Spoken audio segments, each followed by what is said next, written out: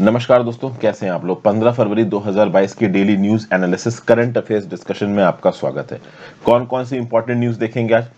तो इंडिया ने agricultural cess को क्रूड पॉम ऑयल पे कम किया है। एक तो ये न्यूज़ देखेंगे। दूसरा, हमारे यहाँ पे जो कोविड पॉजिटिविटी रेट है, अगर आप देखो तो कुछ हफ़्ते पहले ही चले जाएँ तो 300 से ज़्यादा ऐसी डिस्ट्रिक्ट्स थी जहाँ पे कोविड पॉजिटिविटी रेट 10 परसेंट से ज़्यादा था। अब इंडिया में 105 ऐसी डिस्ट्रिक्ट है जहाँ पे कोविड पॉजिटिविटी रेट 10 परसेंट से ज़्यादा है। कोविड पॉजिटिविटी रेट मतलब अगर 100 लोगों का कोविड टेस्ट किया जा रहा है तो 10 लोग कोरोना पॉजिटिव निकल के आ रहे हैं। इसको आप बोलोगे positive Covid positivity rate of 10 percent. तो कोविड 19 के इंसिडेंस इंडिया के अंदर कम हो रहा है। देखें तो अच्छी न्यूज़ है। फिर झारखंड में डिस्ट्रिक्ट के लेवल पे जॉब अपॉइंटमेंट के लिए दो डिस्ट्रिक्ट्स में भोजपुरी और मगही भाषा को मैंडेटरी किया गया था। अब भोजपुरी और मगही भाषा के बेसिस पे डिस्ट्रिक्ट के लेवल के कॉम्पिटेटिव एग्ज़ाम्स में जब रिक्वायरमेंट रखी गई तो झारखंड के अंदर बवाल होने लगा प्रोटेस्ट होने लगे। ये क्यों हो रहे हैं, इसको समझने की कोशिश करेंगे। फिर इंडिया में जो शैलेट का एक्सपोर्ट है, वो ऑल टाइम हाई शैलेट मतलब जो छोटे वाले गोल गोल से प्याज होते हैं ना, इनको आप शैलेट्स बोलते हैं, वो भी प्याज नॉर्मल का जो प्याज होता है ऑनियन होता है, थोड़ा बड़ा होता है। एक छोटा प्याज आता है गोल गोल सा, उसको आप शैलेट बोलते हो। तो इसके एक्सपोर्ट बहुत हाई हो गए। दूसरा टर्की के प्रेसिडेंट अर्डोगन साहब, ये पहुँचे हैं यूएई में। और यूएई जाके ओवरऑल रिश्ते स्थापित कर रहे हैं। टर्की की इकोनॉमिक हालत खराब है, ठीक है ना? अब अर्डोगन को समझ में आ रहा है कि सिर्फ़ खलीफा बनने से काम नहीं चलेगा थोड़ा बहुत इकोनॉमी भी ठीक करनी पड़ेगी। तो यूएई में जाके ये ओवरऑल इकोनॉमिक रिश्ते सुधारने की कोशिश कर रहे हैं। देखते हैं ये क्या न्यूज़ है। फिर कनाडा में जो ट्रक वाले हैं, उनका प्रोटेस्ट चल रहा है। ये प्रोटेस्ट बेसिकली कोविड रिस्ट्रिक्शंस को लेके है वैक्सीनेशन के रिस्पेक्ट में है। तो इस प्रोटेस्ट में रिसेंटली जस्टिन ट्रूडो ने क्या डिसीज़न लिया है? इमरजेंसी इंपोज की गई है कनाडा के अंदर। ओवरऑल जो कुछ भी यहाँ पे हुआ है, उसके बारे में देखेंगे। फिर इंडिया का जो सीपीआई इन्फ्लेशन रेट है, जनवरी 2022 में 6 परसेंट से ज़्यादा हो गया है। तो ये बिल्कुल भी अच्छी खबर नहीं है, इसको देखेंगे। आगे बढ़ने से पहले वीडियो पे लाइक का बटन दोस्तों। अगर अब तक आपने चैनल को शेयर और सब्सक्राइब नहीं किया, कर दीजिए इंस्टाग्राम पे फॉलो कर लीजिए टेलीग्राम ग्रुप ज्वाइन कर लीजिए। टेलीग्राम ग्रुप पे आपको इस पर्टिकुलर लेक्चर की पीडीएफ मिल जाएगी। And if possible for you friends please click the join button that is specifically very helpful आज का वर्ड ऑफ़ द डे देख लेते हैं पेरेम्पटरी पेरेम्पटरी मतलब इंसिस्टिंग और इमीडिएट अटेंशन और ओबीडियंस मतलब इमीडिएट अटेंशन या फिर जो भी कह रहे हैं, तुरंत कर दो।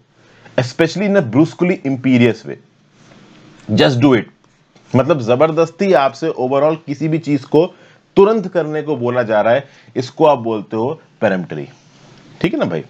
तो urged by a peremptory message from Napoleon Cavour count Cavour की बात हो रही so the necessity of going to the will of Europe of disbanding the volunteers reducing the army to a peace footing basically peremptory मतलब urgent basis पे किसी को बोला कि तुरंत ये काम करो, और ऐसे बोला कि बस करो ही करो। ठीक है ना? काउंटर क्वेश्चन नहीं चाहिए। चलिए, पहली news sign of a retreat of Covid 19 तो अब देश में लगभग 100 डिस्ट्रिक्ट ही ऐसी बची हैं जिनका वीकली पॉजिटिविटी रेट 10 परसेंट से ज़्यादा है। मतलब अगर 10 टेस्ट हो रहे हैं तो एक पॉजिटिव निकल रहा है। मतलब कोरोना वायरस का इन्फेक्शन देश में घट रहा है, ऐसा जो लेटेस्ट डाटा हेल्थ मिनिस्ट्री का वो दिखा रहा है। अगर देखा जाए तो अभी से लगभग दो हफ़्ते पहले 388 डिस्ट्रिक्ट्स थी ऐसी हमारे देश में, जहाँ पे वीकली पॉजिटिविटी रेट कोरोना का 10 परसेंट से ज़्यादा है, अब लगभग 100 है। Okay okay? जब हाई पॉजिटिविटी रेट होता है कोरोना का मतलब कोरोना के केसेस ज़्यादा फैल रहे हैं। और ऑब्वियसली बात है कम ऐसी डिस्ट्रिक्ट निकल के आ रही है जहाँ पे टेस्ट पॉजिटिविटी रेट 10 परसेंट से ज़्यादा है। इसका मतलब कोरोना के केसेस यहाँ पे कम हो रहा है। देखा जाए तो रिसेंटली 44,877 केसेस दिन में आए जो कि एक अच्छा नंबर है क्योंकि 4 जनवरी को आए थे 50,000 से ज़्यादा केसेस लगभग 58,097 केसेस और उसके बाद से अब तक हर दिन 50,000 से ज़्यादा केसेस निकल के आ रहे हैं। अब कल का दिन ऐसा था जिस दिन पचास हज़ार से कम केसेस निकल के आए हैं तो ओवरऑल आप कह सकते हो ये एक अच्छी खबर है। संडे को जो हमारा टेस्ट पॉजिटिविटी रेट था मतलब परसों की बात कह लीजिए तो आज ट्यूसडे वाले दिन में वीडियो रिकॉर्ड कर रहा हूँ तो संडे को डेली टेस्ट पॉजिटिविटी रेट था 3.17 परसेंट मतलब 100 लोगों का टेस्ट किया ठीक है तो 3.17 लोगों को मतलब हज़ार लोगों का टेस्ट किया तो 300 सॉरी, दस हज़ार लोगों का टेस्ट किया तो 317 लोगों को कोरोना पॉजिटिव निकला। अगर आप देखो तो सैटरडे को टेस्ट पॉजिटिविटी रेट 348 था 3.48 परसेंट, और संडे को था 3.17 परसेंट। फिर आगे देखते हैं, the national weekly positivity rate for 4.46 percent और संडे तो देखो, पिछले हफ़्ते में जो वीकली टेस्ट पॉजिटिविटी रेट था नेशनल, वो था 10.2 परसेंट। और अभी इस हफ़्ते में जब संडे को खत्म हुआ, तब कितना है? 4.46 परसेंट इंडिया का जो एक्टिव केस लोड है कोरोना का five lakh thirty seven thousand forty five लोग। तो बेसिकली देखा जाए तो इंडिया के अंदर इस समय पे एक्टिव कोरोना पेशेंट्स है पाँच लाख सैंतीस हज़ार। पिछले हफ़्ते में थे बारह लाख पच्चीस हज़ार। तो नो डाउट हमारा एक्टिव केस लोड घटा है। एक्टिव केस लोड मतलब इस समय पे टोटल कितने लोगों को कोरोना है? और टोटल अगर कम लोगों को कोरोना होगा तो हमारे हेल्थ इंफ्रास्ट्रक्चर के ऊपर कम प्रेशर पड़ेगा। ये ओवरऑल यहाँ पे बताया जा रहा है। इस समय पे पाँच स्टेट्स में आप कह लो, दस डिस्ट्रिक्ट से ज़्यादा ऐसी डिस्ट्रिक्ट है जहाँ पे पॉजिटिविटी रेट कोरोना का टेन परसेंट से ज़्यादा है। मतलब राजस्थान, केरला, महाराष्ट्र, अरुणाचल प्रदेश, मिजोरम, ये पाँच ऐसे स्टेट्स हैं जिनमें 10 से ज़्यादा डिस्ट्रिक्ट्स में कोविड पॉजिटिविटी रेट 10 परसेंट से ज़्यादा निकल के आ रहा है। जी पेपर टू हेल्थ में न्यूज़ आपको काम आएगी। अगली news centre cuts agricultural cess on crude palm oil तो भाई केंद्र की सरकार ने एग्रीकल्चरल सेस को क्रूड पॉम ऑयल पे कम कर दिया है 7.5 परसेंट से घटा के 5 परसेंट कर दिया गया याद रखिएगा, क्रूड पॉम ऑयल पे किया गया है। क्रूड पाम ऑयल एडिबल नहीं होता है, खाने पीने लायक नहीं होता है। ये क्रूड पाम ऑयल इंडिया के अंदर इंपोर्ट होता है, फिर जो हमारे एग्रीकल्चरल ऑयल रिफाइनर्स हैं, उनके पास ये पाम ऑयल जाता है और फिर वो एडिबल पाम ऑयल बनाते हैं, इससे जो कि मार्केट में बिकता है। तो भाई क्रूड पॉम ऑयल के ऊपर ये एग्रीकल्चरल सेस कर दिया है कम। अब बेसिकली ये एग्रीकल्चरल सेस क्या होता है? इसका फुल फॉर्म है agricultural infrastructure and development cess देखिए इंडिया के अंदर जो सामान इंपोर्ट होता है ना, उसके ऊपर लगाई जाती है बेसिक कस्टम ड्यूटी और इस कस्टम ड्यूटी का जितना अमाउंट निकल के आता है, इसके ऊपर लगाया जाता है agriculture infrastructure and development cess इसके थ्रू जो पैसा आता है, वो पूरा का पूरा केंद्र सरकार अपने पास रखती है। बेसिक कस्टम ड्यूटी में जो पैसा आता है वो पैसा भाई केंद्र की सरकार और राज्य की सरकार के बीच में बटेगा। In accordance with the recommendation of finance commission formed under constituted under article 280 of the constitution of India लेकिन सेस के अंदर जो पैसा आता है, वो पूरा का पूरा केंद्र सरकार अपने हिसाब से खत्म करती है। और पिछले कुछ दिनों में, पिछले कुछ सालों में केंद्र की सरकार सेस बढ़ा रही है, ऐसा इसके ऊपर इल्ज़ाम भी लगाया जा रहा है। बहरहाल, वो यहाँ पे टॉपिक नहीं है। यहाँ पे agriculture infrastructure and development cess के थ्रू जो भी पैसा कलेक्ट किया जाता है उससे पूरे इंडिया में एग्रीकल्चर सेक्टर में इंफ्रास्ट्रक्चर डेवलपमेंट करने की कोशिश करती है। इंफ्रास्ट्रक्चर को डेवलप करना एग्रीकल्चर सेक्टर के बहुत सारे अलग अलग प्रोजेक्ट्स को एग्जीक्यूट करना, ये काम है इस एआईडीसी से आए हुए पैसे का। ठीक है भाई? यही पैसा यहाँ पे कम किया गया है क्रूड पाम ऑयल के ऊपर। साढ़े सात टका से कम करके एआईडीसी कर दिया गया है पाँच परसेंट। तो इससे क्या होगा कि इंडिया के अंदर जो एडिबल ऑयल रिफाइनर्स हैं वो ओवरऑल इस क्रूड पाम ऑयल को अपने पास लेंगे, उसके ऊपर फर्दर फंक्शनिंग करेंगे प्रोसेसिंग वगैरह करेंगे और उस प्रोसेसिंग के थ्रू फाइनली जो एंड प्रोडक्ट बन के आएगा, वो होगा आपका एडिबल पाम ऑयल देखिए क्रूड पाम ऑयल अलग अलग प्रोपोर्शंस में अलग अलग प्रकार के ऑयल्स को बनने में काम आता है। हमारे पास मार्केट में बहुत प्रकार के एडिबल ऑयल्स मिलते हैं। कड़ुआ तेल, कच्ची घनी का तेल, आप कह लो रिफाइंड हो गया, डालडा हो गया, घी हो गया पाम ऑयल ऑलिव ऑयल तो इन सब प्रकार के ऑयल्स को बनने में कुछ हद तक पाम ऑयल का प्रयोग होता है। इनफैक्ट पाम ऑयल तो साबुन ले लो, आपके फ़ूड प्रोडक्ट्स ले लो, कोई जो आप कहते हैं ना कि शेविंग क्रीम इस्तेमाल करते हो, जो आप फेस वॉश इस्तेमाल करते हो, सबके अंदर पाम ऑयल होता है। तो पाम ऑयल क्रूड के अगर ऊपर हम किसी भी प्रकार का टैक्स कम कर रहे हैं तो no doubt overall final market तक पहुँचते पहुँचते चीज़ें थोड़ी सस्ती हो सकती हैं। अच्छा एक बात याद रखिएगा क्रूड पाम ऑयल के ऊपर इंपोर्ट टैक्सेस कम है। रिफाइंड पाम ऑयल के ऊपर नहीं है। अभी अगर आप क्रूड पाम ऑयल अब इस पर्टिकुलर एग्रीकल्चर मतलब इस टैक्स के चेंज के बाद अगर आप देखें तो जो क्रूड पाम ऑयल के ऊपर इंपोर्ट टैक्स लगता है टोटल और जो रिफाइंड पाम ऑयल के ऊपर लगता है, इसके बीच में फ़र्क है आठ दशमलव पच्चीस प्रतिशत का। मतलब रिफार्म पॉइंट ऑयल के ऊपर पाम ऑयल के ऊपर आठ दशमलव पच्चीस, लगभग साढ़े आठ परसेंट ज़्यादा टैक्स लग रहा है क्रूड पाम ऑयल से। क्योंकि देखिए रिफाइंड पाम ऑयल तो फाइनल प्रोडक्ट है। रिफार्म पाम ऑयल आप सीधे सीधे मार्केट में बेच सकते हो, लेकिन क्रूड पाम ऑयल को रिफाइन करना पड़ेगा।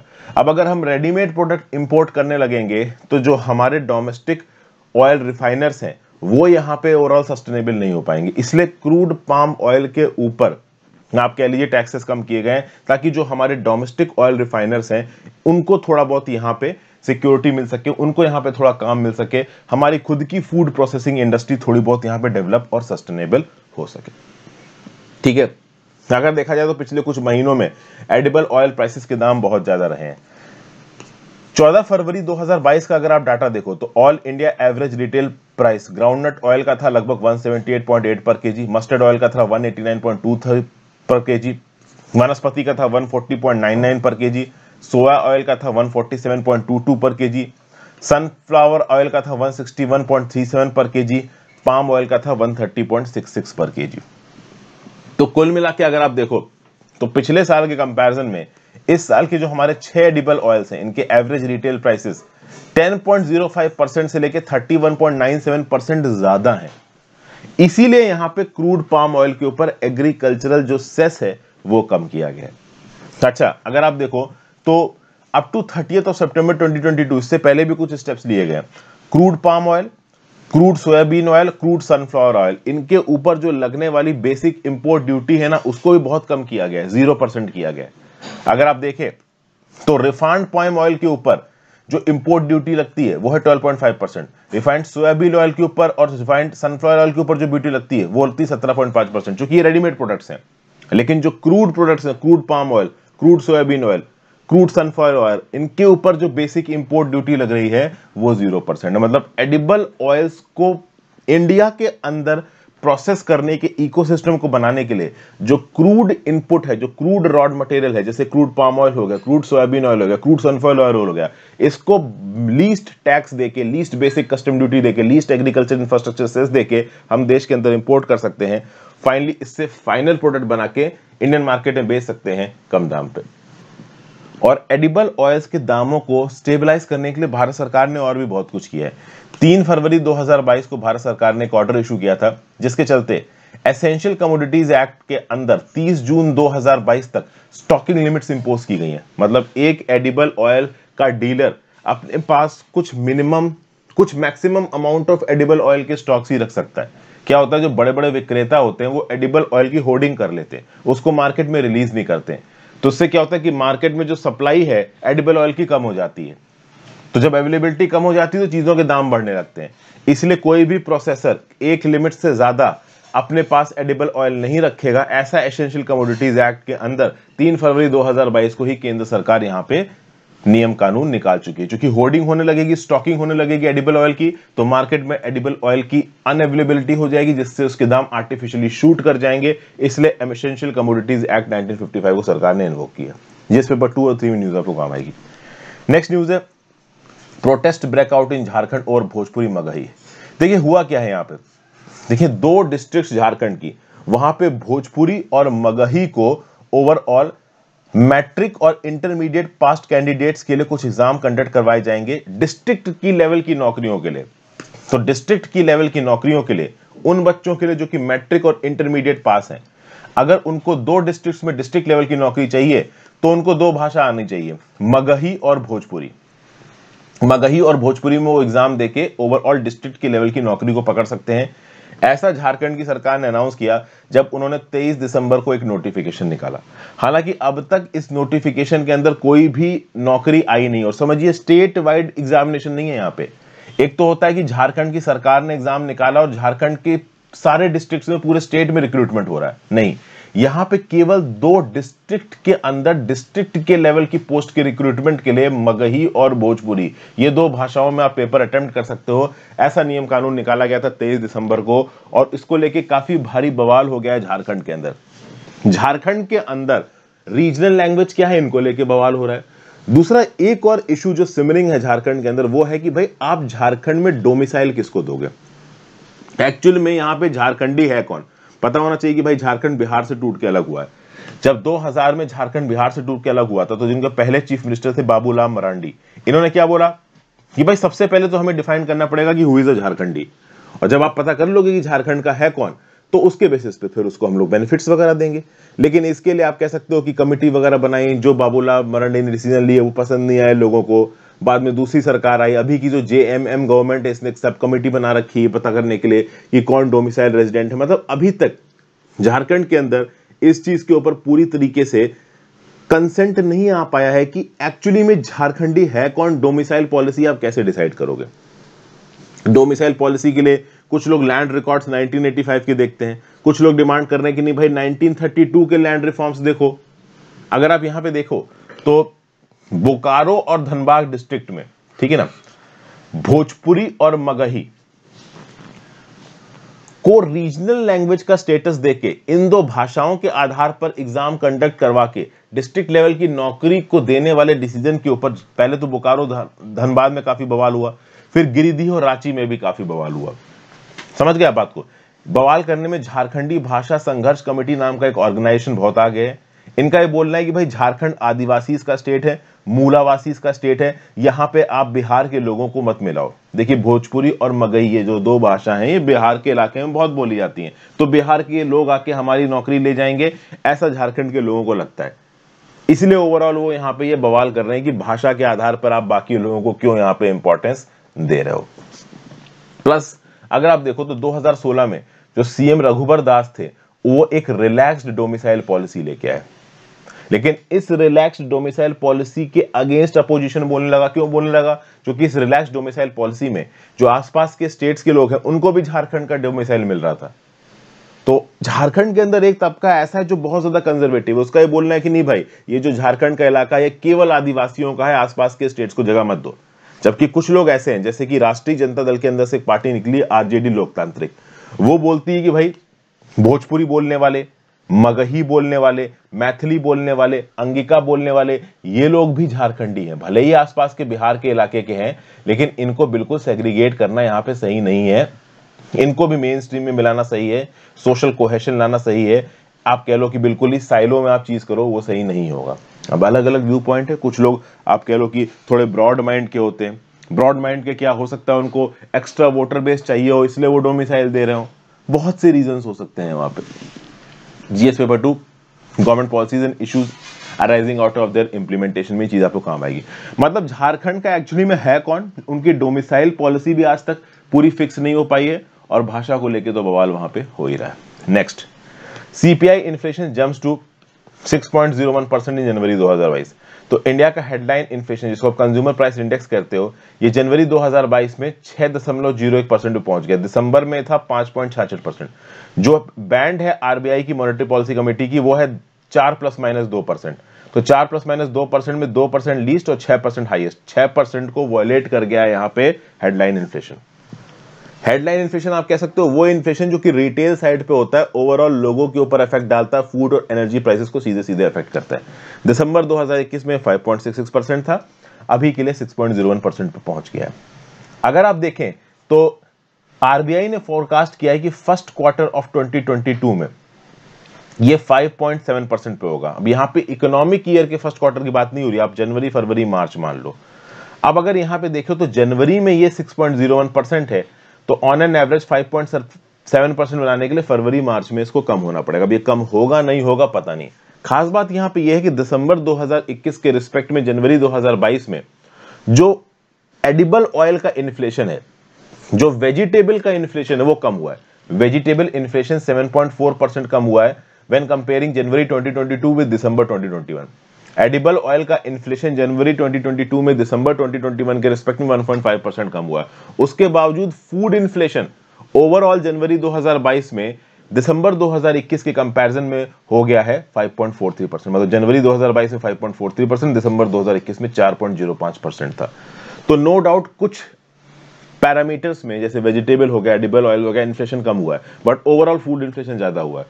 और ओवरऑल देखें तो क्लाउडिंग फुटवेयर हाउसिंग मिसलेनियस इन सबके दाम बढ़े हैं। इसलिए जनवरी 2022 में जो इन्फ्लेशन है, वो 6.01 परसेंट नज़र आ रहा है। हमारा जो रेंज है, दो से छह परसेंट का, उसको ओवरशूट कर चुका है। जिस पेपर थ्री इंडियन इकोनॉमी में न्यूज़ आपको काम आएगी। नेक्स्ट न्यूज़ इंडिया से शैलेट्स का export is an at an all time high तो भाई 2013 के रिस्पेक्ट में एक्चुअली में इस फिगर को देखा जा रहा है। 2013 के रिस्पेक्ट में अब तक शैलेट्स का एक्सपोर्ट 487 बढ़ चुका है। शैलेट्स लगते कैसे हैं? तो यहाँ पे ओनियन वेराइटीज आपको दिख रही है, ये येलो ओनियन दिख रहा है, एक ग्रीन ओनियंस होते हैं, इसकी सब्ज़ी खाते हैं, बड़ी अच्छी लगती है, एक रेड ओनियंस होते हैं स्वीट ओनियंस होते हैं, ये छोटे छोटे से आपको जो नज़र आ रहे हैं ना, ये होते हैं शैलेट्स व्हाइट ओनियंस होते हैं, अब नॉर्मल कर हम लोग इस प्रकार के रेड ओनियंस देखते हैं बट ये स्वीट ओनियंस और व्हाइट ओनियंस ये सब बाहर की कंट्रीज़ में ज़्यादा खाए जाते हैं, हालाँकि इंडिया में भी होते हैं तो शैलेट्स का एक्सपोर्ट काफ़ी बढ़ा है, अगर आप अप्रैल टू दिसंबर 2013 में देखो तो शैलेट्स के एक्सपोर्ट से हमने दो मिलियन डॉलर्स कमाए थे अप्रैल से दिसंबर 2021 में 11.6 मिलियन डॉलर कमाए। अप्रैल से दिसंबर 2021 में हमने सबसे ज़्यादा शैलेट्स कहाँ एक्सपोर्ट किए? तो श्रीलंका में 35.9 परसेंट, मलेशिया में 29.4 परसेंट, थाईलैंड में 12 परसेंट, यूनाइटेड अरब एमिरेट्स में साढ़े सात परसेंट और सिंगापुर में 5.8 परसेंट। फिर इंडिया का पाइन एक्सपोर्ट भी बढ़ा है इंडिया का पाइन एक्सपोर्ट ऑलमोस्ट सौ परसेंट बढ़ा है कब से कब तक कंपेयर करो? तो अप्रैल से दिसंबर 2013 में 1.63 मिलियन डॉलर्स के पाइन एक्सपोर्ट हुए थे। और ओवरऑल अप्रैल से दिसंबर 2021 में 3.26 मिलियन डॉलर के। पाइन एक्सपोर्ट कहाँ कहाँ हुए तो अप्रैल से दिसंबर 2021 में यूई में एक्सपोर्ट हुए 32.2 परसेंट नेपाल में 22.7 परसेंट कतर में 16.6 परसेंट मालदीव में 13.2 परसेंट यूएसए में 7.1 परसेंट इंडिया का मर्चेंडाइज एक्सपोर्ट का जो नंबर है वो भी बढ़ा है। अगर आप देखो तो जनवरी 2021 में हमने एक्सपोर्ट किया था 27.54 बिलियन डॉलर का। मर्चेंडाइज एक्सपोर्ट समझ रहे ना? जो भी चीज़ हमको सामने सामने दिख रही है, उसका एक्सपोर्ट चाहे वो कपड़ा हो, चाहे वो केमिकल हो, चाहे वो ज्वेलरी हो, चाहे वो तेल प्रोडक्ट्स हो पेट्रोलियम प्रोडक्ट्स हो, चाहे वो डायमंड्स हो, जो चीज़ भी हमें सामने दिख रही है, उसको आप बोलते हो मर्चेंडाइज तो जनवरी 2021 में 27.54 बिलियन डॉलर का मर्चेंडाइज था। जनवरी 2022 में ये हो गया है 34.06 बिलियन डॉलर तो जनवरी 2021 के कंपैरिजन में, जनवरी 2022 में हमारे एक्सपोर्ट्स बढ़े हैं लगभग 23.69 परसेंट से। और ये नंबर जनवरी 2020 में था, जनवरी 2020 में था, कोरोना से पहले 25.85 बिलियन डॉलर तो नो डाउट कोरोना के बावजूद हमारे एक्सपोर्ट्स बढ़ रहे हैं। ओके, अगर आप अप्रैल टू जनवरी 2021-22 का टाइम पीरियड देखोगे तो इसमें हमने एक्सपोर्ट किए हैं 335.44 बिलियन डॉलर्स के।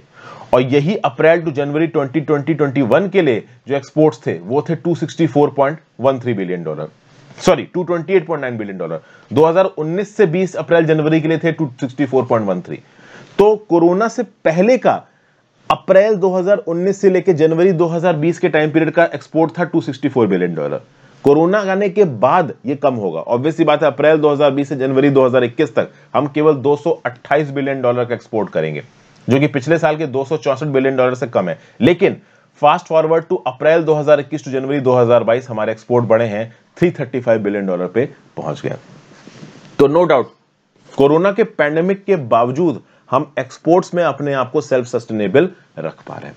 और इसके लिए बहुत सी स्कीमें बनाई हैं। एक एक्सपोर्ट मॉनिटरिंग डेस्क बनाई गई है ओवरऑल ठीक है ना? आप कह लो डिपार्टमेंट ऑफ़ कॉमर्स के अंदर बहुत सारे ऐसे एक्ट्स हैं जो कि आउटडेटेड प्रोविजंस को हटाते हैं। One district one product scheme लागू की गई है गवर्नमेंट के द्वारा। जिसके चलते ओवरऑल एक्सपोर्ट्स को कॉम्पिटेटिव किया जा रहा है। तो ये सब चीज़ें GS paper two marketing of agro products में न्यूज़ आपको काम आएगी। नेक्स्ट है भाई Canada PM Trudeau invokes emergency powers तो आपको पता होना चाहिए कि भाई कनाडा में जो ट्रक ड्राइवर्स हैं, उनका एक बड़ा भयंकर प्रोटेस्ट चल रहा है। और इस प्रोटेस्ट ने काफ़ी प्रॉब्लम क्रिएट कर दी। बहुत सारी बॉर्डर क्रॉसिंग्स यहाँ पे ब्लॉक हो गई हैं। डाउनटाउन ओटावा यहाँ पे पैरालाइज हो गया है। जस्टिन ट्रूडो ने बोला कि मिलिट्री तो हम लोग यूज़ नहीं करेंगे, लेकिन अपने आप को कुछ इमरजेंसी पावर्स दी हैं यहाँ पे। इन इमरजेंसी पावर्स में चलते बहुत सारे ट्रक ड्राइवर्स को यहाँ पे अरेस्ट कर लिया गया है, और ये ट्रक ड्राइवर्स ने भी गजब कर दिया। पिछले दो हफ्तों में हंड्रेड्स ऑफ़ ट्रक ड्राइवर्स ने ओटावा की स्ट्रीट्स को ब्लॉक कर रखा है पार्लियामेंट हिल को बिसीज कर दिया है। और वजह क्या है? तो इन ट्रक ड्राइवर्स के ऊपर पहली बात तो वैक्सीन मैंडेट्स लगाए गए इनके ऊपर कंपलसरी वैक्सीनेशन ज़रूरी है। बहुत सारे कोविड प्रिकॉशंस हैं। मूवमेंट को ब्लॉक किया गया है। बहुत सारे लोग रेस्टोरेंट्स में नहीं जा सकते अगर वो वैक्सीनेटेड नहीं है। तो कनाडा के अंदर वैक्सीनेशन को लेके बहुत ज़्यादा स्ट्रिक्ट रिस्ट्रिक्शंस लगाए गए जिसके चलते ओवरऑल लोग वहाँ पे शायद नाराज़ हो गए हैं और इसलिए यहाँ पे इतना भयंकर प्रोटेस्ट देखने को मिला। और प्रोटेस्ट इतना खतरनाक था, ये जो ट्रक ड्राइवर का प्रोटेस्ट है, इसको फ्रीडम कॉन्वॉय कहा जा रहा है। बहुत सारी यूएस कनाडा की बॉर्डर क्रॉसिंग ब्लॉक हो गई। एम्बेसडर ब्रिज जो है ना, जो कि विंडसर ऑन्टारियो को डेट्रॉइट यूएसए से जोड़ता है, वो तक ब्लॉक हो गया था। हालाँकि उसको फाइनली संडे को ओपन कराया गया, जब पुलिस ने यहाँ पे इंटरवीन किया और प्रोटेस्टर्स को अरेस्ट किया गया। इनफैक्ट ये प्रोटेस्ट इतने ज़्यादा इंटेंस थे कि फेडरल एजेंसीज और प्रोविंशियल एजेंसीज मतलब फेडरल सरकारें और प्रोविंशियल सरकार, जैसे इंडिया में होता है ना, केंद्र और राज्य, ये आपस में एक दूसरे के साथ बहस रही थी कि किसकी रिस्पॉन्सिबिलिटी इन प्रोटेस्ट को रोकना। क्योंकि पहली बात तो डर ये था कि अगर प्रोटेस्ट को रोकोगे तो वायलेंस हो सकता है। दूसरा, भाई इलेक्टोरली अच्छा नहीं लगता। अगर ज़रूरत से ज़्यादा प्रोटेस्टर्स को दबाओ तो इलेक्शन में प्रॉब्लम आ सकती है। आप देख ही सकते हो इंडिया में फार्म प्रोटेस्ट में क्या हुआ। और प्रॉब्लम क्या थी इन प्रोटेस्टर्स की? इनका यह बोलना था कि भाई, इस लॉकडाउन को बंद करो। हमारे ऊपर एक लिमिट से ज़्यादा रिस्ट्रिक्शंस मत लगाओ। और जो राइट विंग एक्सट्रीमिस्ट हैं, जो कि वैक्सीनेशन के अगेंस्ट बोलते हैं, वो इन प्रोटेस्ट को सपोर्ट कर रहे हैं। जैसे कि यूएस में डोनाल्ड ट्रंप जैसे लोग और फॉक्स न्यूज़ पर्सनालिटीज जो कि एक्सट्रीमली राइट विंग को बिलोंग करते हैं वैक्सीनेशन के अगेंस्ट बात करते हैं, वो इन प्रोटेस्ट को सपोर्ट कर रहे हैं। फ़िलहाल के लिए ये इशू थोड़ा सॉर्ट आउट होता नज़र आ रहा है। हालाँकि इस पर्टिकुलर प्रोटेस्ट का इफ़ेक्ट भी पड़ा है, जो ऑन्टेरियो के प्रीमियर है, उन्होंने एक मार्च को बोला कि इनकी प्रोविंस में ये जो रिक्वायरमेंट थी कि आपका वैक्सीनेटेड होना ज़रूरी है रेस्टोरेंट में जाने के लिए जिम में जाने के लिए स्पोर्टिंग इवेंट्स में जाने के लिए, इस रिक्वायरमेंट को हम हटा देंगे। ये जो एम्बेसडर ब्रिज था, ये यूएस और कनाडा के बीच में पच्चीस रेट को करता है। जनरल मोटर्स फोर्ड टोयोटा जैसे ऑटो मोकर्स हैं, वो इसी पर्टिकुलर जगह के ट्रेड के बेसिस पे ऑपरेट करते थे। फाइनली यहाँ पे स्टेट को फिर से शुरू किया गया, दो हफ़्ते से यह ब्लॉक पड़ा हुआ था। कनाडा में देखा जाए तो one of the strictest lockdown लगाया गया कैनेडियंस के ऊपर बहुत ज़्यादा आप कह लो कि रिस्ट्रिक्शंस लगाए गए हैं। उनका सबसे ज़्यादा आप कह लो वैक्सीनेशन रेट्स कनाडा के अंदर है। और इसीलिए आप देखोगे कि कनाडा का जो मोर्टिलिटी रेट है ना, जो डेथ रेट है ना कोविड 19 का, वो अमेरिका यूएस से एक तिहाई है। ज़्यादातर कैनेडियंस ने इस प्रकार के रिस्ट्रिक्शंस को सपोर्ट किया है, लेकिन कभी कभी इस प्रकार के इंस्टेंसेस भी हो जाते हैं। जीएस पेपर टू में न्यूज़ आपको काम आएगी। टर्की के प्रेसिडेंट यूएई गए हैं पहली बार एक डिकेड में। 2013 के बाद अब पहली बार ऐसा हुआ है कि टर्किश प्रेसिडेंट यूएई विज़िट किए हैं। रेसिप तैयब अर्दोगन साहब गए और वो अबू धाबी के crown prince Mohammed bin Zayed Al Nahyan से मिले। ठीक है? ये Mohammad bin Zayed Al Nahyan Ankara गए थे पिछले नवंबर 2021 में और बिलियंस ऑफ़ डॉलर्स के इन्वेस्टमेंट और कह लो बायोलेटरल फाइनेंशियल अकॉर्ड साइन हुए थे। यूएई और टर्की के बीच में इश्यूज़ और प्रॉब्लम्स बढ़ गई थी जब अरब अपराइजिंग हुई थी। जब लिबिया में सिविल वॉर चल रहा था और सिविल वॉर में अलग अलग प्लेयर्स को यूएई और टर्की सपोर्ट कर रहा था। लेकिन फाइनली टर्की में एक बहुत बड़ा इकोनॉमिक टर्मिनॉयल है और इकोनॉमिकली टर्की स्ट्रगल कर रहा है। आपको पता ही होगी कि टर्की की जो करेंसी है लीरा वो इतनी ज़्यादा गिर गई थी कि ओवरऑल लोग वहाँ पे त्राईमाम कर रहे थे। यूएई भी अपनी इकोनॉमिक प्रायोरिटीज को ज़्यादा इंपॉर्टेंट दे रहा है इंपॉर्टेंस दे रहा है। अपने इकोनॉमिक पार्टनर्स को बढ़ाने की कोशिश कर रहा है। तो इसलिए दोनों ही कंट्रीज़ के पास यूई और टर्की के पास रीजन है एक दूसरे के साथ इंगेज करने का। तो उन्होंने बातचीत की है कि ये बायोलेटरल ट्रेड को बढ़ाएँगे, दोनों की कंट्रीज़ अपनी इकोनॉमी को एक प्रकार का बूस्ट देंगे कॉम्प्लीमेंट करेंगे क्लाइमेट एक्शन पे काम करेंगे advance technology industry health agriculture defence industry cooperation में भी एक लेटर ऑफ़ इंटेंट यहाँ पे साइन हुआ है। इन्वेस्टमेंट कॉपरेशन में ओवरऑल एक दूसरे के साथ इंगेज किया जाएगा। ये सब बातें यहाँ पे बोली जा रही हैं। टर्की और यूएई की ये दोस्ती बहुत इंपॉर्टेंट है। Specifically looking to the fact कि टर्की बहुत सारे मैटर्स में इजिप्ट और सऊदी अरेबिया से क्लैश करता हुआ नज़र आ रहा है। यूएस से क्लैश करता हुआ नज़र आ रहा है और आपको पता होना चाहिए यूएई इजिप्ट सऊदी अरेबिया और यूएसए तीनों का बड़ा अच्छा पार्टनर तो ऐसे केसेस में टर्की और यूएई की दोस्ती एक अच्छा साइन है ओवरऑल रीजनल जियोपॉलिटिक्स के लिए, इस रीजन में शांति स्थापित करने के लिए। ठीक है भाई GS paper two international relation में न्यूज़ आपको काम आएगी। So thank you for watching friends ज़्यादा से ज़्यादा लोगों के साथ इस लेक्चर को शेयर करिएगा। इंस्टाग्राम पर फॉलो कर लीजिए टेलीग्राम ग्रुप ज्वाइन कर लीजिए। दोनों ही चीज़ों का लिंक नीचे डिस्क्रिप्शन बॉक्स में दिया हुआ है। आई होप आपको लेक्चर्स पसंद आ रहे हो। Good bye